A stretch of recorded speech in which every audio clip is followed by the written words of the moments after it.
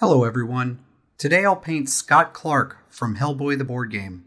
I'll be adding OSL and dynamic volumes to turn this gray into this. Let's get painting.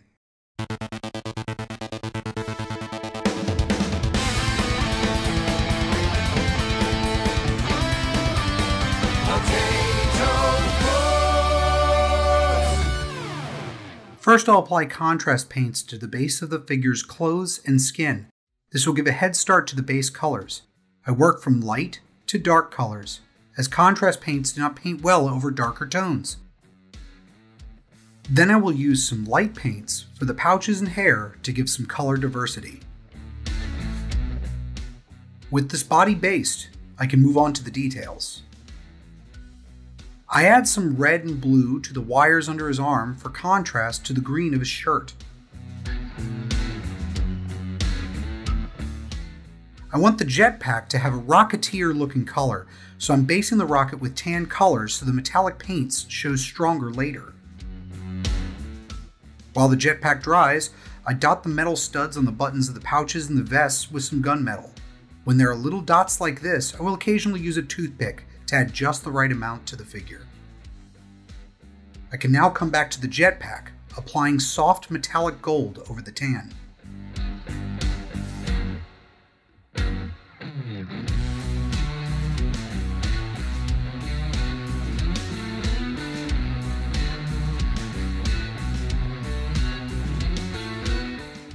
I now have all the base colors down. To deepen the color, I will add a light wash over the model.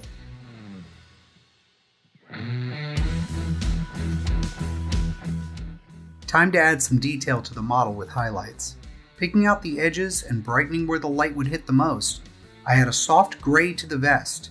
I want the vest to look black in color, so I keep the highlight darker than the rest of the clothes.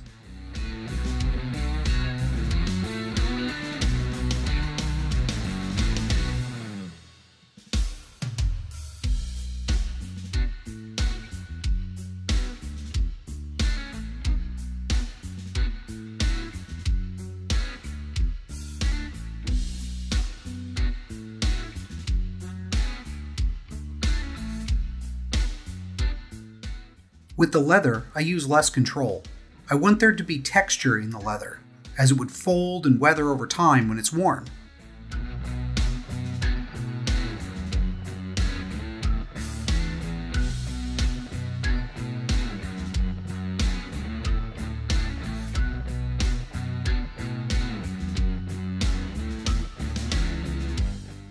When highlighting, I'm picking a paler color to represent worn, dried leather.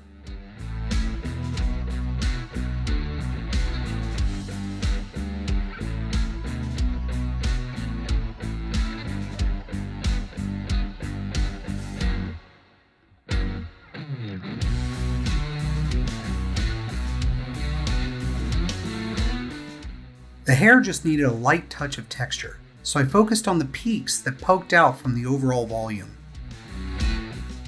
Focusing on the upward facing portions of the skin, I added a soft flesh tone back over the washed areas, keeping the underside the darker, cooler color.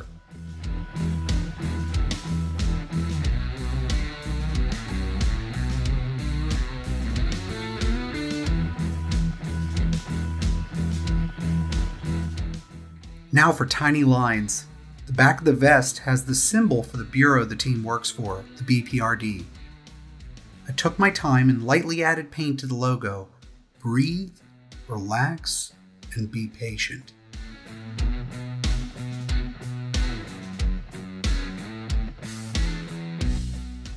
The jacket is the last piece to highlight. I let the folds in the clothes guide me. I use the tones and texture from the vest and the leather to be a control for how much light and texture I need to apply.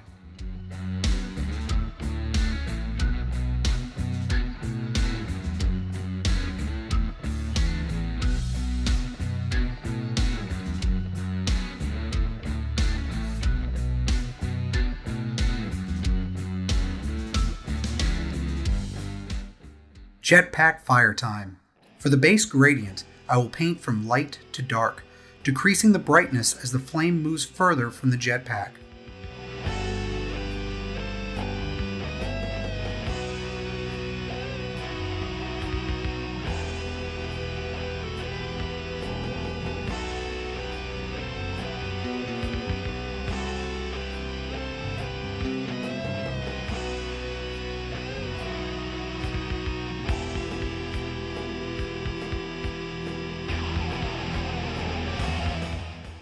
Provide variation in the flame, I'll pull the darker and lighter colors at different heights of the flame, and then come back over to blend in any hard breaks in the color.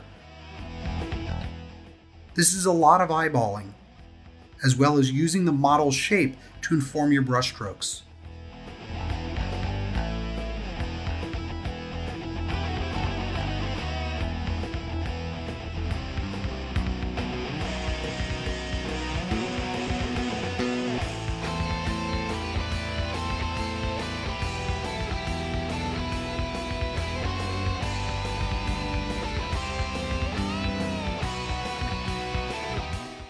The flames are done. Now I move on to the smoke plume. First, I'll cover it with black contrast paint. Then, I will add a mid-tone to the upward facing portion of the plume.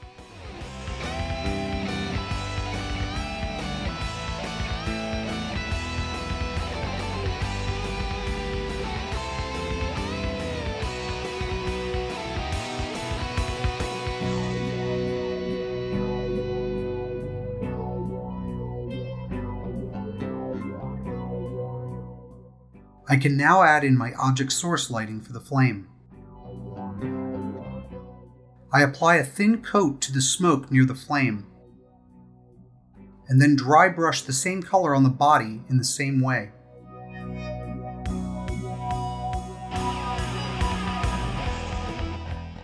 I pull out some focus for the light with a brush and add in lighter details so the clothes don't get washed out in yellow.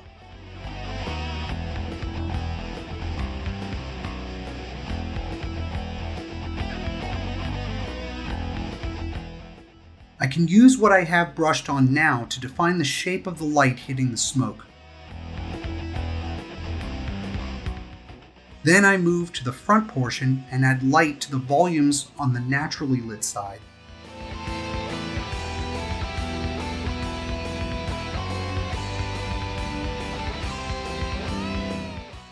I repeat these steps with brighter colors and smaller portions until I get the desired effect I want.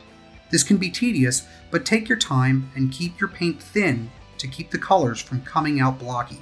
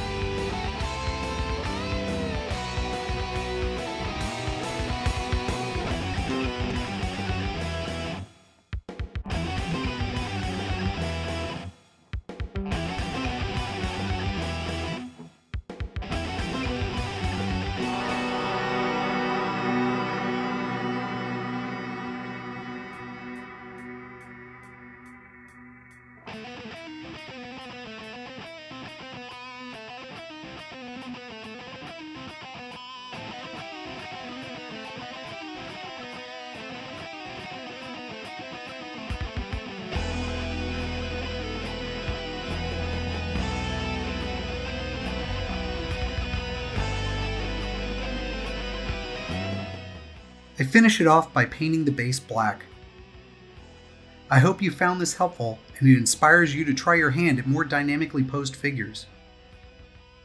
Remember to take your time and look for what you want your focal points to be. That will define what you need to put the most time into and don't stress the rest. See you next time.